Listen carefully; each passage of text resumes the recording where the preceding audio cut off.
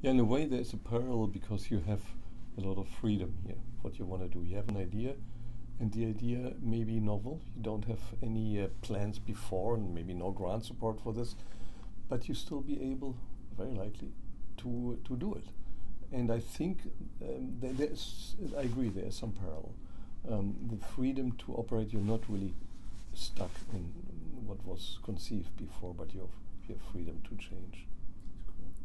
I think the other analogy is when we're out in these environments, um, we're trying to do things as well as we possibly can. You know, we're not professional mountaineers, we're not professional skiers, professional boaters, but we try to do those things with a, a level of excellence that is right at the edge of what we can do.